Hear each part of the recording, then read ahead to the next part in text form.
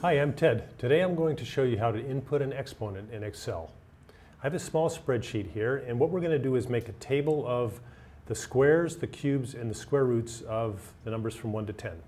So to make a formula, you click on the cell where you want the formula to be, where you want the result to be, and you type in an equal sign, and then you click on the number over here, number 1, or uh, cell A2 where the number 1 is, and then you type um, the exponent symbol, which is the caret, which is the symbol above the letter, the number 6 on a keyboard, and then you type 2 because the exponent is 2, and then you hit a return.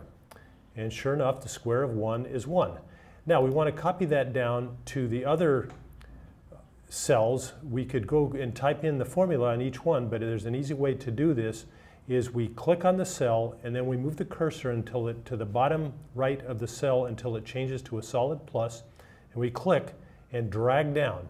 And what that does is that drags down the formula so that it, the same formula appears in the corresponding cell in each row.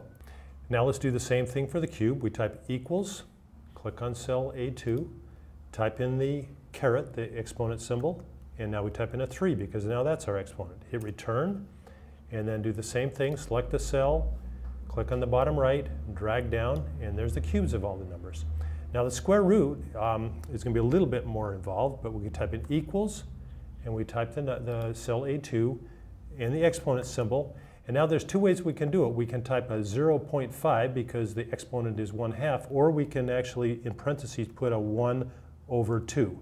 So either way, you get the same answer. I did it the, the second way. Hit a return, and then we do the same thing. Click the cell, put the cursor on the bottom right, drag down, and there's our result, the square roots of all the numbers. So I hope this has been helpful. I'm Ted, and today I showed you how to input an exponent in Excel. Thank you for watching.